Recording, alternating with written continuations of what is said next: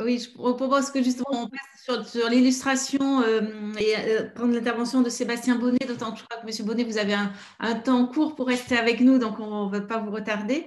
Euh, donc vous êtes directeur de la SEM Orion et puis président de Métropolis. Donc en Vendée à, La Roche-sur-Yon. Et donc, c'était, on sait que vous, êtes, vous avez constitué avec la Banque des Territoires la première foncière de centre-ville.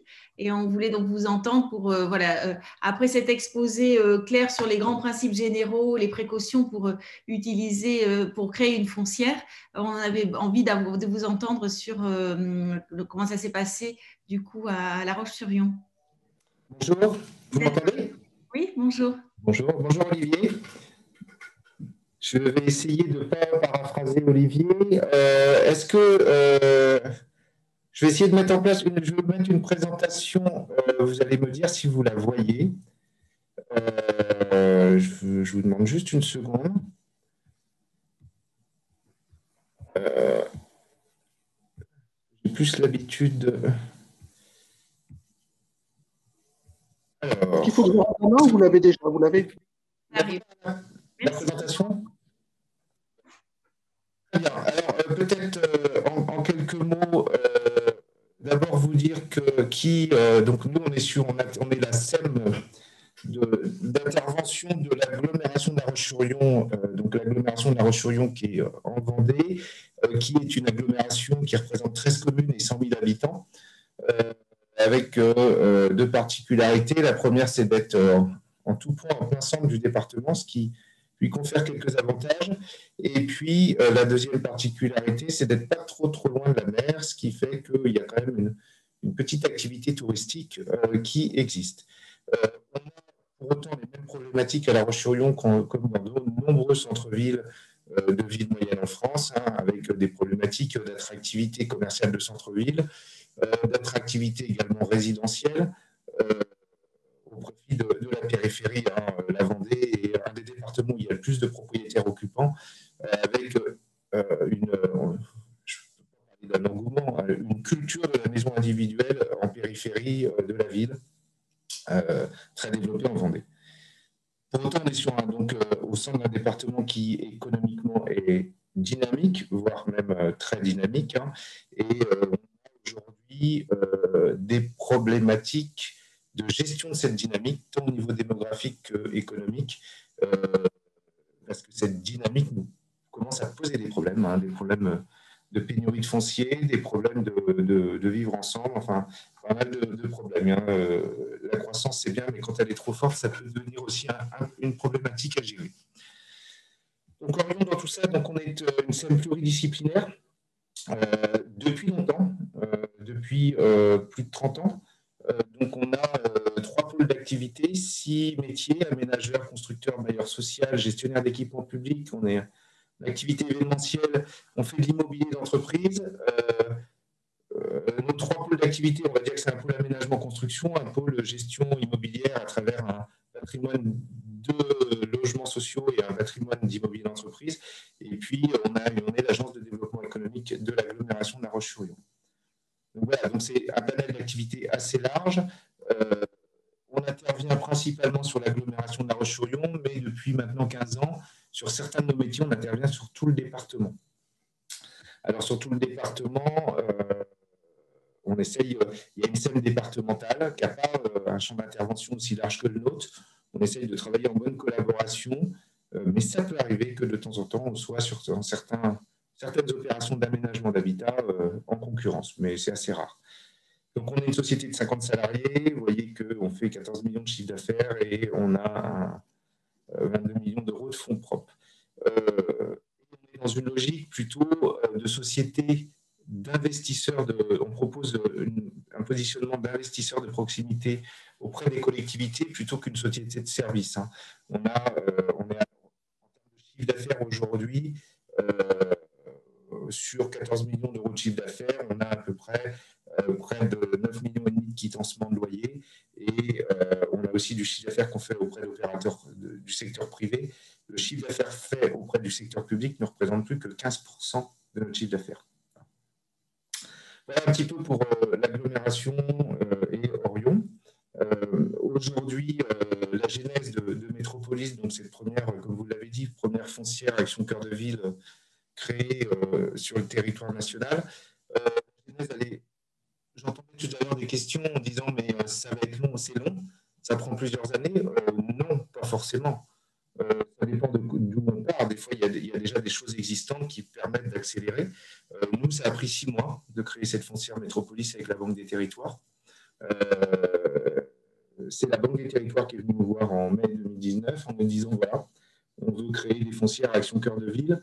Euh, est-ce que vous seriez euh, partant pour qu'on crée la première à La Roche-sur-Yon et qu'on la crée en gros rapidement avant la fin de l'année? Donc au mois de septembre 2019, elle a été créée. Donc c'est possible de créer une foncière rapidement. après, il faut partir quand même d'une base, d'un existant. C'est sûr que si vous n'avez pas déjà un outil existant, SEM ou euh, autre structure euh, parapublique, euh, c'est directement la collectivité qui doit investir dans la foncière, effectivement, il y a des procédures un petit peu plus longues qui vont, prendre un peu de temps. Voilà un petit peu la genèse, en sachant que la principale problématique dans la construction de cette foncière, ça a été le périmètre d'intervention. Bien évidemment, la Banque des territoires un objectif d'avoir un périmètre d'intervention, euh, périmètre ORT, hein, avec son cœur de ville. Il y a deux périmètres ORT en Vendée, euh, un sur la Roche-sur-Yon et un sur euh, la ville de Fontenay-le-Comte.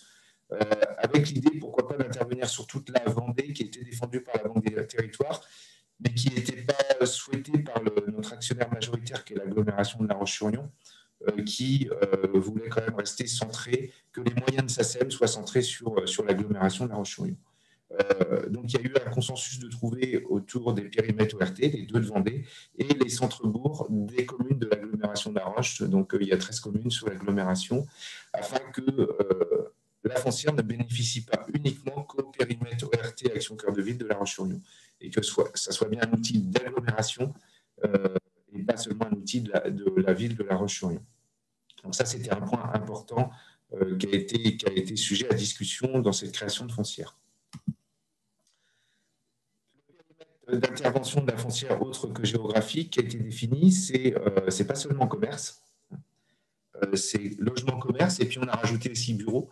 Euh, pourquoi? Parce que nous, au niveau d'Orion, on, pense depuis toujours que les problèmes de commerce de centre-ville, c'est avant tout des problèmes de résidentialité du centre-ville. le commerce, il fonctionne très bien quand il a une zone de chalandise de proximité qui est, suffisante et, qui est, avec une bonne mixité. Euh, et que euh, c'est pas en faisant venir des commerces dans un endroit où il n'y a pas d'habitants qui vont marcher, entre guillemets. Hein. Donc, euh, on considère que les deux sont quand même très liés. C'est-à-dire que pour faire venir des habitants, il faut avoir quand même une offre commerciale assez diversifiée, et, conséquente, parce que c'est une attente des habitants. Mais pour autant, pour que les commerces fonctionnent et aient envie de venir, il faut aussi avoir une certaine densité résidentielle. Donc, les deux sont extrêmement liés. D'où cette volonté de positionner cette foncière à la fois sur le commerce et le logement, d'autant plus que quand vous intervenez sur des centres-villes, euh, vous pouvez être rapidement amené à intervenir sur des immeubles complets avec euh, bien évidemment des rez-de-chaussée commerciaux et des logements aux étages. et puis on a ajouté les bureaux parce que l'activité tertiaire de bureaux est aussi importante pour faire vivre les centres-villes. à la fois pour fixer des habitants sur le centre-ville qui, habitent, et puis aussi pour faire vivre tout ce qui est commerce, euh, notamment euh, CHR euh, le, midi. Voilà un petit peu ce qui a motivé ce, périmètre d'intervention au niveau des activités.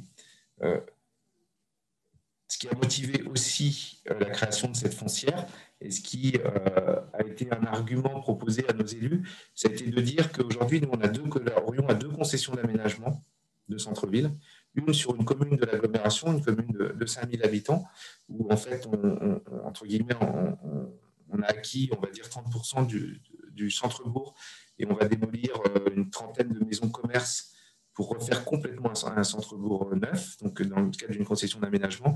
Et puis, on a une concession d'aménagement sur le, centre historique euh, de La Roche-sur-Yon, sur, euh, des objectifs d'intervenir sur des, îlots complets en désuétude euh, pour, pour leur redonner une valeur de marché et euh, faire revenir à la fois des commerces et des habitants dessus.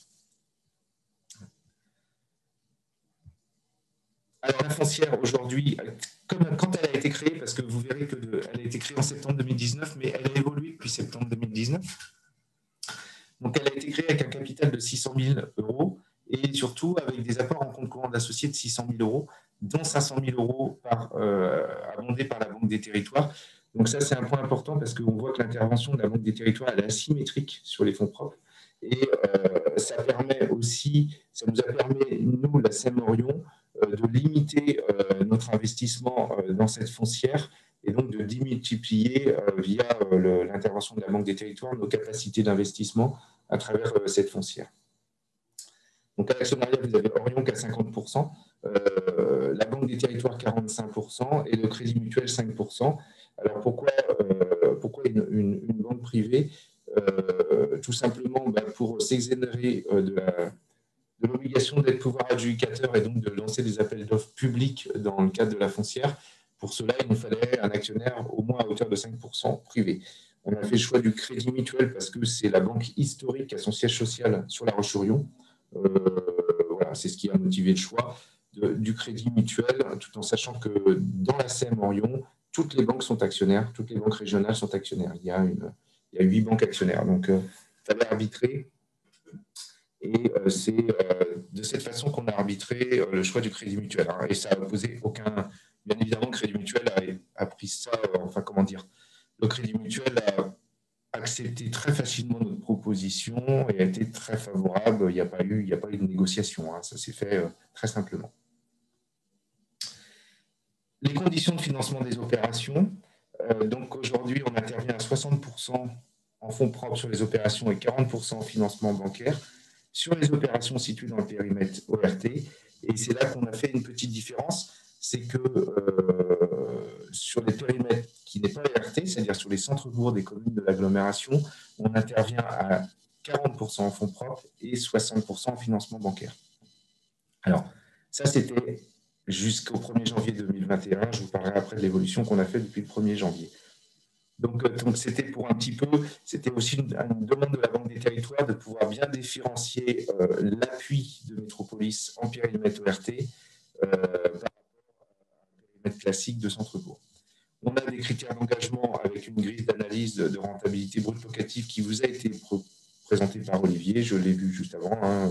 c'est exactement la grille qu'il a présentée, qui est dans un, pacte d'associés qui définit euh, qui définit les conditions d'investissement de la foncière et qui régit euh, la gouvernance de la foncière, avec des niveaux de rentabilité attendus dans une fourchette de 6 à 10% L'intérêt de, la foncière, outre de, démultiplier les capacités d'investissement au niveau local avec un ciblage résidentiel et commerce, c'est aussi de permettre, euh, via ces rentabilités qui sont basses, hein, alors 10% non, mais 6% c'est bas, euh, d'avoir une, offre locative un, peu plus attractive, tout en sachant que l'idée, c'est quand même de rester dans des conditions de marché, mais plutôt d'être sur la, fourchette basse du, marché.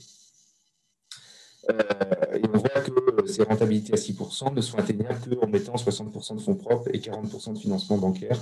Autrement, c'est un petit peu compliqué d'atteindre ces, rentabilités à 6%. Ce qui est important, c'est de, voir aussi qu'en mettant 60% de fonds propres, on inverse, alors je ne sais pas si euh, parmi, euh, parmi vous, il y, a, des techniciens, euh, mais s'il y en a, ça, leur parlera. Nous, on fait du montage d'opérations d'immobilier d'entreprise et ben, on, a, deux, on a deux marqueurs pour, faire ces opérations. Un, le compte de résultat de l'opération à 15-20 ans et deux, la trésorerie prévisionnelle de l'opération à 15-20 ans. Euh, quand on investit dans l'immobilier d'entreprise, aujourd'hui la SEM, on investit à 80% en financement bancaire et 20% en fonds propres. Aujourd'hui, euh, dans ces conditions, euh, notre marqueur le plus, le plus contraignant, c'est la trésorerie. on est toujours, on surfe sur un équilibre un peu pas facile en matière de trésorerie quand on investit 80% en financement bancaire. En mettant 60% de fonds propres, ça change, ça inverse un petit peu euh, la donne et la façon de penser, euh, vu que le marqueur qui, euh, qui, est le, qui, est le, plus contraint, c'est du coup le compte de résultat.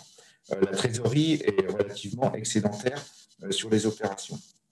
Donc, c'est une façon de, monter les opérations un petit peu différentes à ce niveau-là, donc qu'on n'avait pas anticipé hein, quand on a ça, créé la, foncière en 2019, mais dont on s'en est rendu compte très vite et on s'est adapté assez facilement. Je continue. Le plan d'affaires, je sais que j'ai entendu quelqu'un qui posait la question. Donc ça, c'est un élément important. Euh, bien évidemment, avant de, créer définitivement la, foncière, il a fallu faire un plan d'affaires euh, qui a permis euh, de, comment dire, qui a permis de, créer la structure capitalistique de, la foncière métropolis hein, en termes de montant. Donc, on est parti sur un plan d'affaires de 5,3 millions d'euros sur les trois premières années, avec euh, des, opérations qui étaient déjà euh, dans le pipe de la Seine, hein, qu'on a, qu'on a transférées à la foncière Métropolis, euh, notamment l'acquisition réhabilitation d'un petit immeuble mixte de logement commerce en cœur de ville. Donc, opération qui a été faite dès la création de la foncière, hein, donc tout de suite, et qui aujourd'hui est c'est une opération, vous voyez, on est en avril 2021 qui est, qui est terminée depuis, depuis plus d'un an, occupée avec un commerçant heureux euh, dans, le, dans le local commercial qui était vacant depuis, depuis plus de deux ou trois ans, et un commerçant qui a notamment été fortement médiatisé grâce à Action Cœur de Ville. Par contre, ce plan d'affaires, aujourd'hui qu'on a constitué en 2019,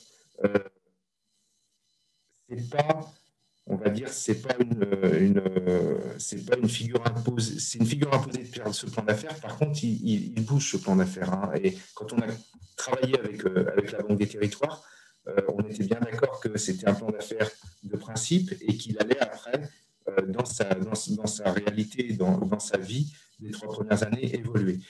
donc autant, vous voyez, la première opération, on l'a faite, la deuxième opération, on ne l'a pas faite. Hein. Elle s'est on l'a abandonné en cours de route en raison de travaux trop importants sur le local. Euh, la troisième opération, euh, bah, là, c'est le, Covid qui, nous a, qui a fait qu'aujourd'hui, elle, est en stand-by. Euh, donc voilà, par contre, par contre, on a fait une opération de bureau. Hein. on a fait un, plateau, un petit plateau de bureau pour une start-up qui, qui, qui recherchait des bureaux et qui voulait rester en, centre-ville et qui ne trouvait pas. Donc, donc, on a racheté un petit plateau de bureau qu'on a désamiantié, entièrement euh, réhabilité et proposé à la location à cette start-up euh, qui ça lui a permis de rester sur le centre-ville. Euh, donc voilà, donc ce plan d'affaires, c'est un plan d'affaires théorique de principe pour structurer financièrement la foncière, mais après, dans sa réalité, il, est, il est agile et il évolue. Je continue. Alors, euh, quel intérêt de faire une foncière alors que pour un territoire comme l'agglomération qui a déjà une SEM, qui a une SEM qui fait de l'immobilier d'entreprise, qui a une SEM qui a déjà fait de l'immobilier commercial. Hein, euh, à une époque, on a même eu, euh, pendant plus de dix ans, on a eu un manager de centre-ville. Hein. En 2014, la collectivité a souhaité réintégrer la fonction manager de centre-ville au sein de la collectivité pour reprendre le lien direct avec les commerçants. Mais de des années 98 aux années 2014, on avait un manager centre-ville, on gérait les deux associations de commerçants. Euh, donc, on était, euh, et, on a, un peu de patrimoine en centre-ville. Donc, on était très impliqués euh, dans le commerce de centre-ville jusqu'en 2014. Alors, donc, pourquoi la SEM n'aurait pas pu assurer ce rôle Tout simplement, vu qu'elle elle, elle l'a déjà fait et qu'elle continue à le faire un petit peu. Alors, déjà, l'intérêt, ça a été démultiplié, je l'ai dit tout à l'heure, les capacités d'investissement de la SEM, hein, vu que euh, Orion, euh, son investissement euh, total, ça a été de 300 000 euros hein, pour la création de cette foncière. ce qui permet d'avoir un outil qui peut investir 5 millions d'euros sur le territoire. Donc, c'est plutôt intéressant. Autre, intérêt, c'est de, donner de la visibilité, de la lisibilité à l'action à la fois de la collectivité et de la Banque des territoires sur le cœur de ville. Euh, parce que quand vous avez une seule multi-activité, si elle intervient euh, pour, euh, sur un immeuble de, cœur de ville, ça se noie dans, dans, dans, ces activités, alors que quand vous avez une structure dédiée, effectivement, tout de suite, c'est plus visible. Hein, plus visible pour la collectivité, mais aussi pour la Banque des territoires. Ça facilite l'évaluation des actions, bien évidemment. on est hors champ de la commande publique, ce qui n'est pas le cas en SEM. et puis, je l'ai déjà dit, une intervention financière de la Banque des territoires particulièrement attractive. Ce n'est pas parce que Olivier Nard est là que, je le dis, mais c'est la réalité hein, qui, a permis de trouver des équilibres économiques d'opération qu'on n'aurait pas trouvé en SEM. Hein. Très clairement, je vous parlais de petits, petits plateaux de bureau pour la start-up. On n'aurait pas réussi à le faire au niveau de la SEM Orion, où aujourd'hui, euh, avec des financements, euh, avec des, opérations financées à 80% financement bancaire et 20% en fonds propres, notre rentabilité, on peut difficilement descendre en dessous de 7,2% de rentabilité. Après, euh, bah, on dégrade les trésoreries trop fortement. Les modalités d'intervention, bah, je vous les ai déjà présentées. Autre avantage, c'est qu'on partage le risque locatif entre euh, les trois actionnaires de la foncière. Euh, et puis, euh, accessoirement, c'est aussi une source de revenus pour la SEM qui, est le, prestataire naturel de, la foncière Métropolis sur, sur le montage et la réalisation des opérations. Au niveau de la gouvernance, ça a été un point aussi qui a été un petit peu complexe au niveau de, la création. Euh, les deux points les plus complexes, ça a été un peu le, périmètre d'intervention géographique et puis la gouvernance. Euh, pourquoi? Parce qu'on est en SAS, on est donc en société commerciale euh, et que la, présence d'élus au sein d'un conseil d'administration enfin ou d'un assemblée d'associés d'une SAS est un, petit peu risqué juridiquement pour les élus. Euh, et puis euh, pas bien vu du tout par, euh, par nos instances régionaux et nationaux, que sont, et notamment la Chambre régionale des comptes. Donc, ça, c'était quelque chose qui était, qui était que, donc, que l'on savait qu'on maîtrisait et qui était, qui était aussi accepté par les élus tout, tout, autant. Il fallait faire en sorte que ce soit un outil quand même du territoire, un outil porté par le territoire et qui soit un outil de la collectivité et de ses élus. Donc ça a été un petit peu complexe de trouver un mode de gouvernance où on pouvait associer la collectivité et les élus sans pour autant euh, qu'ils soient en risque en matière de, risque juridique et pénal. Donc euh, il se trouve que dans, la SEM, on a un bureau euh, qui est une émanation du conseil d'administration, qui est un conseil d'administration restreint, qui n'a pas de, légitimité juridique, mais qui est là pour préparer les conseils d'administration et euh, qui, est là aussi pour, euh, pour évoquer les dossiers stratégiques avec les principaux actionnaires euh, de la SEM que sont l'agglomération et la ville de La Roche-sur-Yon, la Caisse des dépôts et un, représentant des entreprises. et puis la présidence de la SEM, les vice-présidences et direction générale. Donc ce bureau, il traite des dossiers stratégiques qui peuvent aussi avoir une connotation politique et il traite aussi des dossiers d'investissement. Donc, euh, on a, euh, on, a, prévu dans le pacte d'associés que euh, chaque décision, chaque engagement d'opération au niveau de la foncière métropolis fasse l'objet d'un avis du bureau. Ça reste un avis consultatif, hein, parce que les opérations qui sont faites dans Métropolis ne sont pas votées en conseil d'administration de la SEM, qui, n'est pas légitime pour voter. Hein. C'est à la fois un comité d'engagement, la gouvernance de Métropolis, c'est un comité d'engagement euh, qui, donne un avis sur, euh, sur les opérations et une assemblée des associés qui vote les, engagements financiers. Vous voyez qu'on a mis en place trois strates. Une strate au sein de la SEM, le bureau de la SEM, sur un avis consultatif, qui, euh, qui donne un avis favorable ou défavorable et qui donc dit au directeur général de la SEM, qui est à la fois et qui est également le président de, de Métropolis, la position à prendre au sein de Métropolis, un comité d'engagement de, la foncière Métropolis et puis l'Assemblée des associés qui vote, euh, euh, qui vote les, euh, engagements sur la base de, l'avis rendu par le comité d'engagement.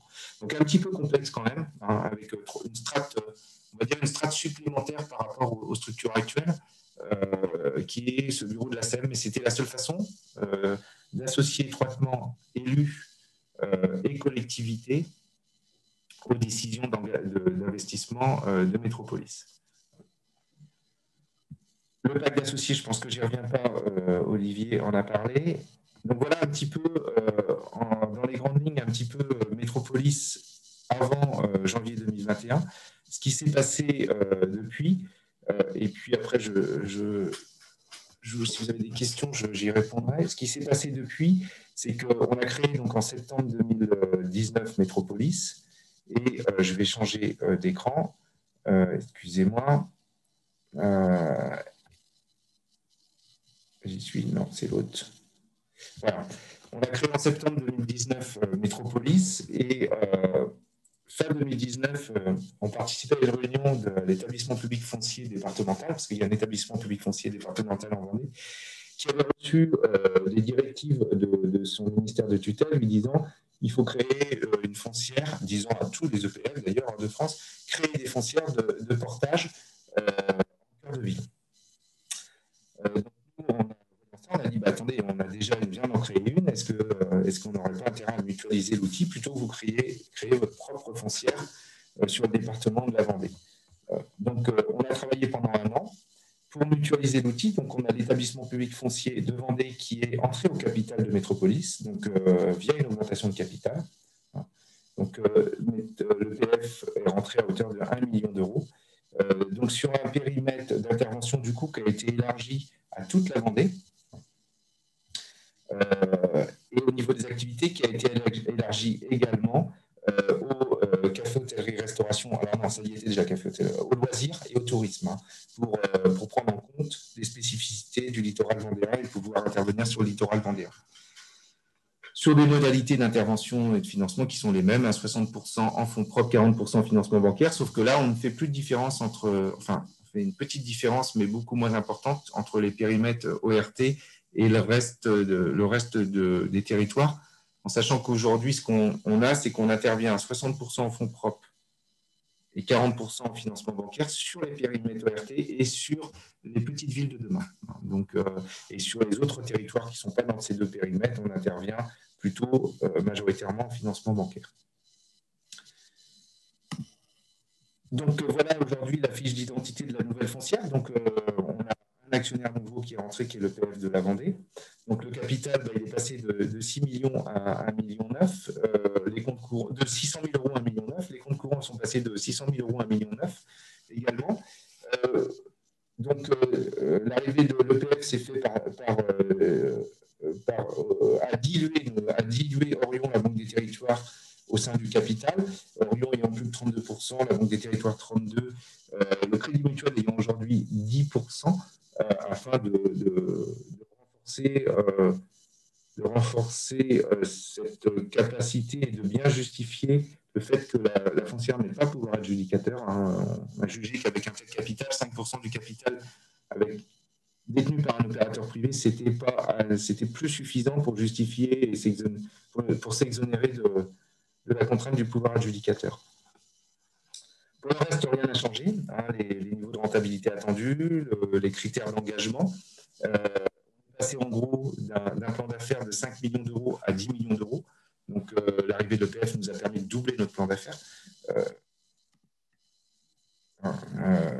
donc avec, des interventions, je vous le disais, hein, toujours le même type d'intervention, mais petites villes de demain, là, vous voyez, on est en train aujourd'hui, par exemple, concrètement, euh, la deuxième intervention, euh, on a une commune de 5000 habitants au sud de la Vendée qui, euh, avait une boucherie-charcuterie.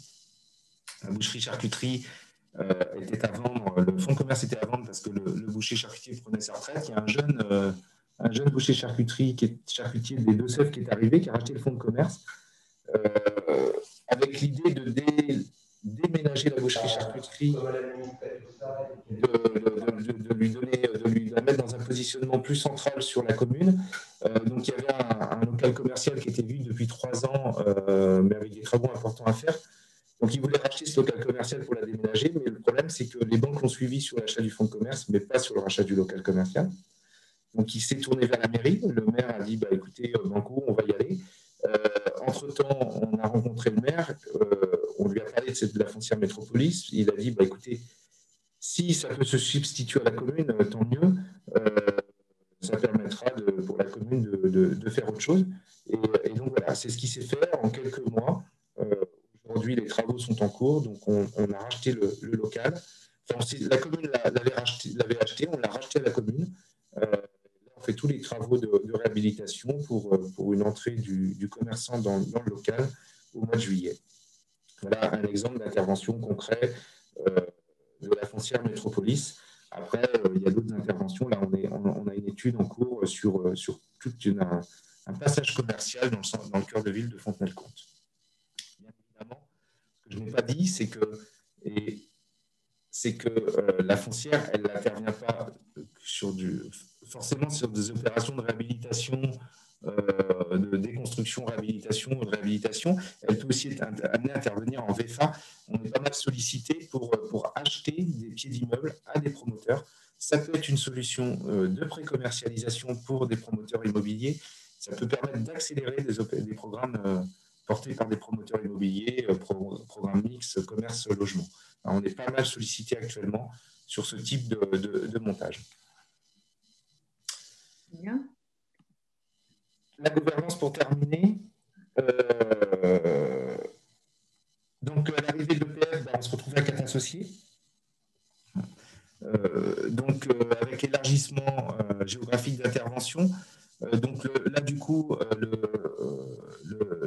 l'avis du bureau d'Orion il est, on va dire, interne à Orion, c'est-à-dire qu'aujourd'hui, on a gardé cet avis du bureau d'Orion, mais plus pour, pour, donner le, positionnement d'Orion au sein de la, foncière. Et euh, on a un comité d'engagement au sein de la foncière qui s'est largement élargi, euh, avec des permanences qui ont, qui ont cette voix, qui sont les associés de, la foncière et un collège des territoires avec trois voix. Notre, problématique, c'était de dire bah, comment on fait pour que les élus puissent intervenir euh, dans un comité d'engagement sur une foncière qui intervient au, niveau départemental. C'était difficile de se dire bah, on a des élus de référence euh, qui vont aller euh, donner un avis sur des opérations qui ne les concernent pas du tout. on voyait mal, par exemple, l'adjoint à l'urbanisme de la ville de La Roche-sur-Yon venir donner des avis sur le rachat de la boucherie-charcuterie d'une commune du sud Vendée, euh, ce qui ne concerne qui est à, 80 km de la Roche-sur-Yon. D'où l'idée euh, d'avoir ce collège des territoires qui, euh, qui, est un collège agile, c'est-à-dire qu'il est composé des élus concernés par le dossier qui est mis à l'avis du, comité d'engagement. Et des associés, par contre, ne bouge pas, reste composée uniquement des associés de la foncière. De toute façon, c'est une obligation juridique voilà un petit peu aujourd'hui euh, la foncière métropolis. Pour conclure, je pense que je dirais, donc, on a été la foncière expérimentale euh, en France. Euh, ce que j'en retiendrai aujourd'hui, c'est, alors ça fait qu'un an et demi, hein, on a encore plein de choses à apprendre. D'abord, c'est les, procédures d'engagement, l'importance d'impliquer la collectivité et ses élus. Hein, de trouver des, moyens et des schémas d'organisation qui permettent de les impliquer. Parce que je rappelle, on est en société commerciale, donc ce n'est pas si simple que ça. Euh, je, euh, je, dirais aussi euh, faut négliger la partie communication et prospection commerciale. faire une foncière, c'est bien, mais faut-il avoir des dossiers à mettre dedans? Sur le papier, ce n'est pas compliqué de faire un plan d'affaires. Après, euh, il, y a, de multiples acteurs sur un territoire. Euh, d'être sollicité, d'avoir des dossiers à mettre dans la foncière, euh, ça nécessite quand même d'avoir une, certaine structuration commerciale et une force commerciale soit existante. Si vous, si vous ne l'avez pas, il est important d'en créer une. Hein. Je, je vous, à titre d'illustration, euh, aujourd'hui, on n'a aucun problème à trouver des dossiers euh, ou, à, être sollicité sur des dossiers sur l'agglomération parce que, euh, parce que la Seine-Orion est, très présente sur l'agglomération. Elle est un acteur en matière d'immobilier reconnu, connu, etc., avec beaucoup de réseaux de prescripteurs, des élus qui s'approprient la SEM. Par contre, dès qu'on sort de l'agglomération, c'est un petit peu plus compliqué. Donc, donc ça, c'est quand même un point de vigilance important. Il euh, ne faut pas oublier, et Olivier l'a dit tout à l'heure, que euh, une foncière, elle intervient surtout en acquisition. Euh, et l'enjeu est sur les acquisitions. Donc, il ne faut pas avoir des équipes qui soient, complètement ignorantes ou, pas formées aux techniques de, négociation immobilière, foncière, notamment parce que dans beaucoup de dossiers, grosse partie de l'investissement, c'est l'acquisition. et la partie travaux, réhabilitation, finalement, est moindre. Euh, Un autre point aussi qui, auquel on a été confronté, c'est que beaucoup d'opérations sont des petites opérations. Et quand vous mettez 60% de fonds propres sur un investissement à 200 000 euros, vous vous retrouvez avec un financement bancaire à faire qui fait moins de 100 000 euros. Dans les premières consultations qu'on a faites, les banques ne répondaient pas. les banques ne répondaient pas parce que ça ne les intéressait pas, c'était trop petit. Et elles n'avaient pas envie de monter un dossier pour 80 000 euros. Euh, donc, euh, il a fallu qu'on trouve une solution euh, justement pour, pour, pour, régler ce problème, d'autant plus que mettre en concurrence trois ou quatre banques sur des financements de 40, 50, 60 000 euros, ça prend du temps, c'est chronophage et donc c'est coûteux.